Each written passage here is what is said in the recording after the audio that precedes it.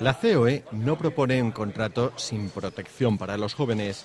Así lo ha asegurado hoy el presidente de la patronal, Gerardo Díaz Ferrán, quien ha salido así al paso de la propuesta defendida ayer mismo por el responsable de Relaciones Laborales de la COE, José de la Cabada, quien defendió un contrato de inserción para jóvenes sin protección y con cuotas empresariales cero.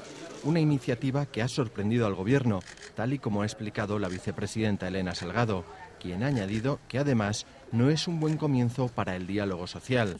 Desde el Partido Popular han preferido no valorar este posible contrato y han vuelto a reclamar una propuesta del Ejecutivo porque aseguran que aún no la conocen. Quienes sí lo han valorado han sido los sindicatos y lo han hecho en términos muy duros.